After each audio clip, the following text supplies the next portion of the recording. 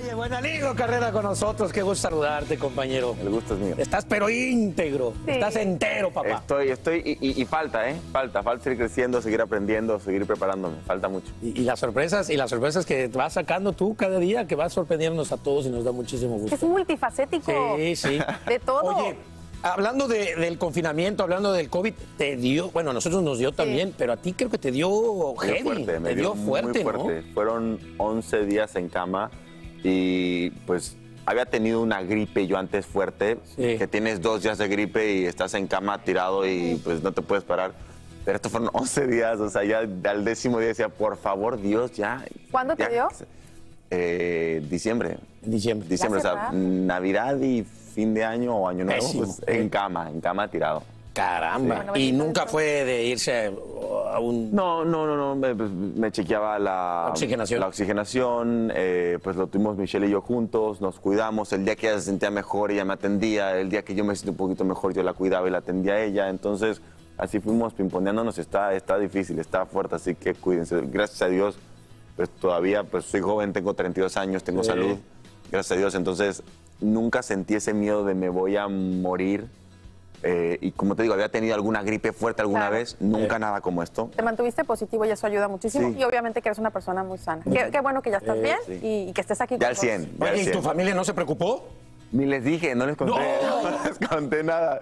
Y mamá, pues ya sabes, las mamás tienen sexto sentido, pues tú sabes Ajá, es que sí. No nos pueden engañar tan y, fácil. y me dice, ¿qué te pasa? Algo está rarito. ¿Tienes COVID? Y yo, no, mamá. Al quinto día, dime que tienes COVID, porque sé que tienes COVID. Ay. ya, mamá, sí tengo. ¿Qué hace esto, esto, esto, esto? Ya sabes Pues, cómo pues, son. pues, pues, ¿cómo es eso el cita? Por favor, dígame, papá Javier y hermanos, de que no les avisa las cosas. Sigue No, siendo eh, igual no es Danilo, por favor, miren. No los quería preocupar. Ahí están. ¿Sí? Hola, buenos días. Hola, Paola, ma.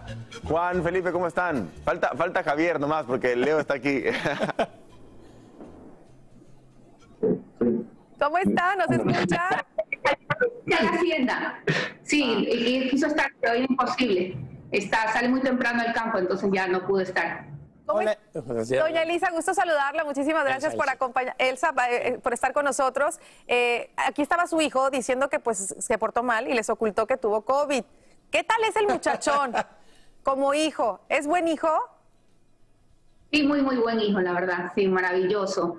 Sí, sabes que eso del COVID, yo decía, algo está pasando con Danilo. No lo siento bien, su voz no es normal, no me llama, no responde las llamadas. Entonces me empecé a bombardear, llamar, llamar, y en eso me, di- y me dice, me hizo una pregunta, algo, no me digas que tienes COVID, dime la verdad. No, no tengo nada. Al siguiente día dije, no, algo está mal. Lo volví a llamar, sí, ya, ya, sí tengo. Pero bueno, dice él, por no preocuparme. Pero yo le dije que no, porque si no puede ser algo... y Yo, y en ese instante llamé a la aerolínea, ya tenía para viajar al día siguiente, me, me embarco, dijo que no.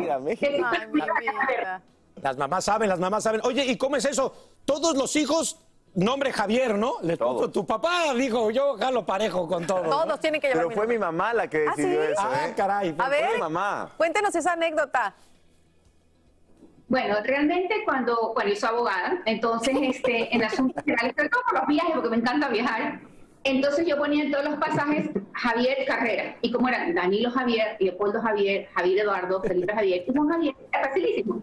Si uno no podía, si el papá no iba, porque ese Javier por, por la hacienda no podía ir, entonces yo me envergaba a cualquiera de los bebés y me iba con ellos. Era, inteligente, era, era algo, una estrategia inteligente. Ahora eso. Qué buena idea. Y bueno, sí, ya, bueno, pero ahora te piden la cédula y todo, ya no es, ya no es igual. Pero antes sí.